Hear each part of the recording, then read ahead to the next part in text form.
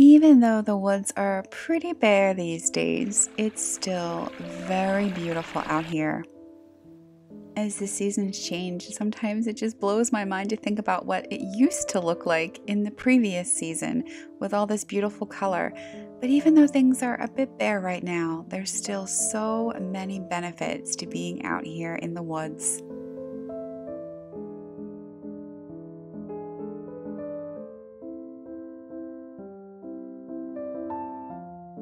Sometimes, as I'm wandering about these sleeping forests, I dream about what it was like when there were all these vivid colors here on the trees. But now I get to look at the bare branches and how lovely they are, and then this gorgeous lake that I'm sure Anne Shirley would call a lake of shining waters.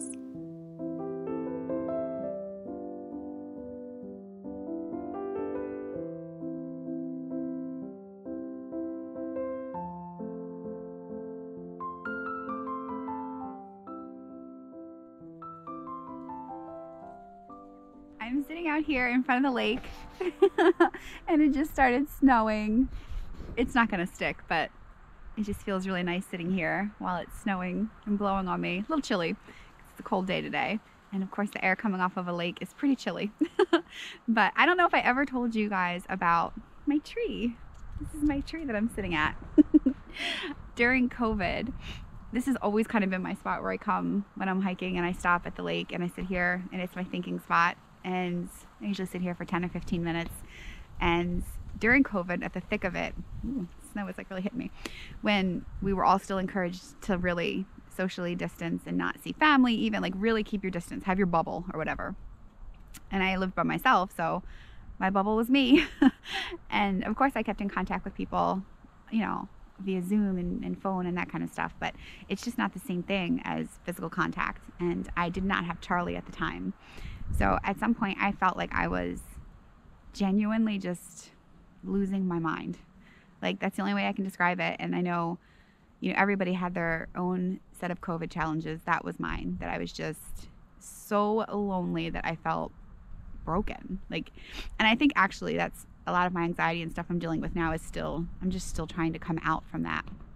But anyway, I my best friend actually was the one who recommended to me. She was like, you know, you can hug trees and get actual benefits from it. And I was like, well, that's kind of makes sense, but also like, I'm not gonna go hug trees. but then one day I was out here sitting at this tree and I was like, what's the worst that could happen? I'll try it. Tried it.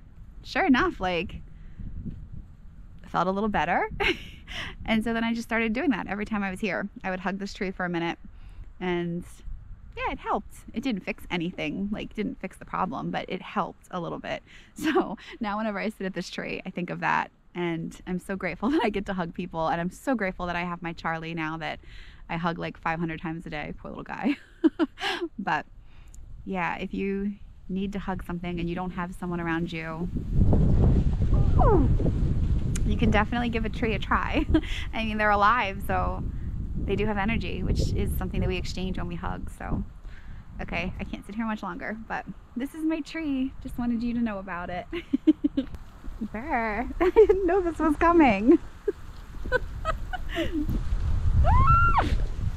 They're like little ice pellets.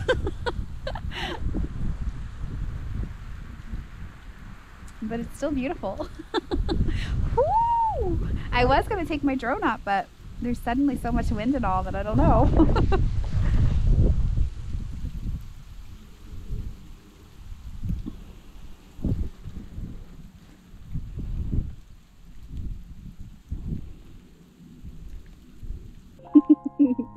I'm hugging my tree now. This was my tree. It was a beautiful spot to sit and hug and look out at the water. I'm very glad that I have people to hug now, but I'm grateful to this tree for being my, my hugging tree. and just in case you didn't already think I was weird, now you probably really do. but that's okay.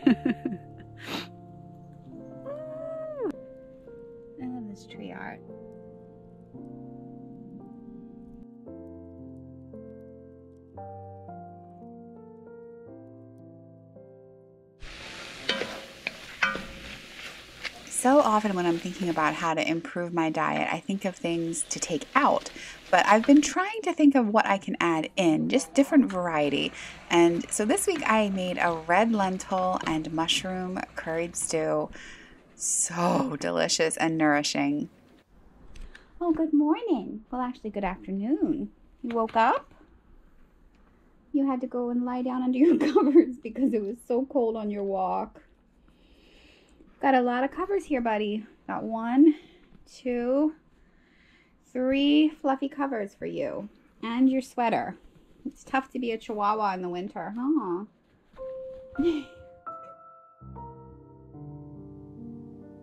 For the last couple of weeks, we've had so much sunshine, but this week the sun was MIA, and most of our gray days we've actually had snow flurries kind of all throughout the day, on and off. Not the kind of snow that sticks around, but it is pretty to look at. There's a farm just up the road from the cottage where the birds seem to love to hang out, and last winter they put on quite a show for me, so I keep popping by to see what I might find. And they didn't do anything too impressive this day, but it was pretty anyway. Of course, when it's gray and dreary and a little bit snowy, you have to do some baking.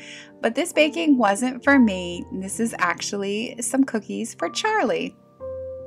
This is a very simple recipe. It is just one and a half cups of ground oats, or you could buy oat flour already ground, half a cup of pumpkin puree, and one egg. You think you could eat all this pumpkin?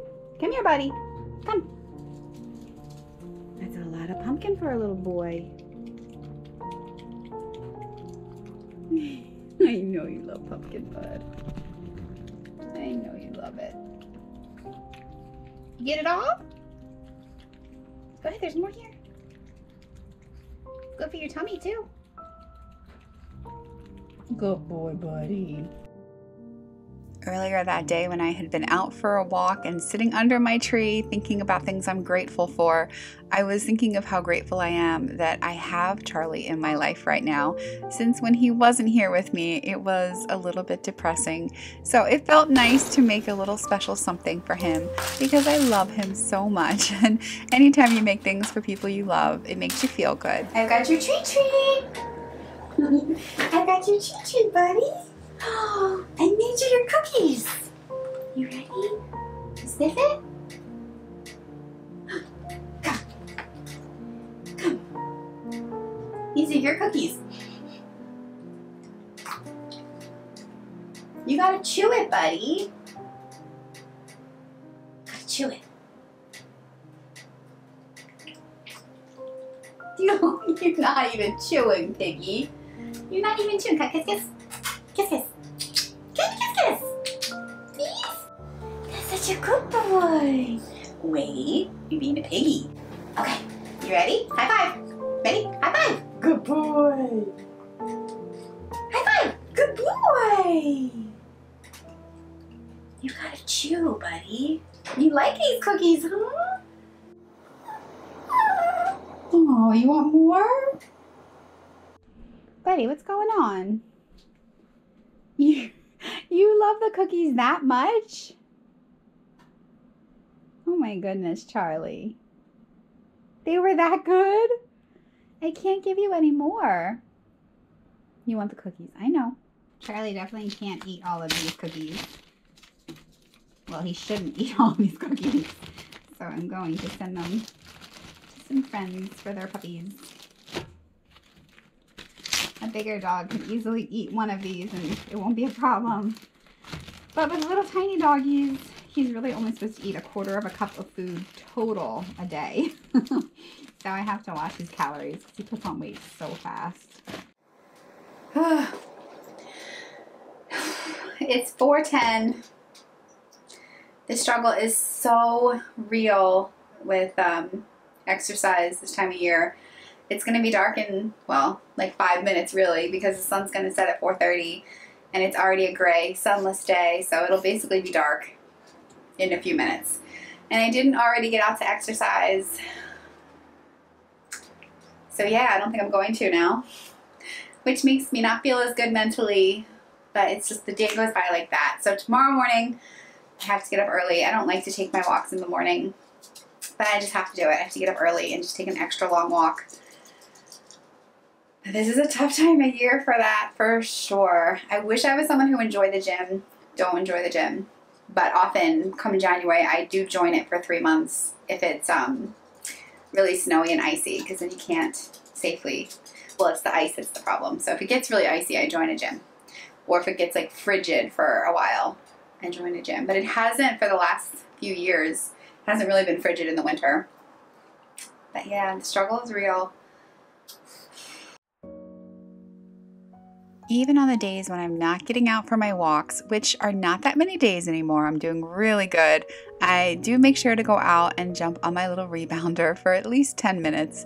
It just makes me feel so much better. I know it's really good for the lymphatic system, but for me personally, more than my lymphatic system, it's just good for my mind to be out there jumping around like a little child. And it's just a tiny bit of exercise when my body really needs it. Gotta pay attention so I don't fall off.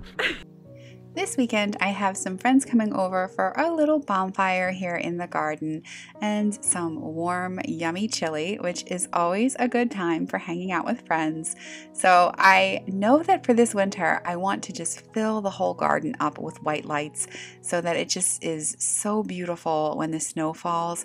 I'm picturing myself sitting out in the garden with the fire lit and lights just absolutely everywhere as snow is falling around me. I cannot wait to do that. But I am waiting until after the holidays because as soon as the holidays end, all of the white lights and all of the decor will go on sale, sometimes as much as 90% off. So I'll be waiting until then to get my lights for the garden. But since I have some friends coming over, I bought a few strings just to add a little bit of light to the yard. And even though it's not nearly enough, it's a pretty start, and I just love seeing the lights out there.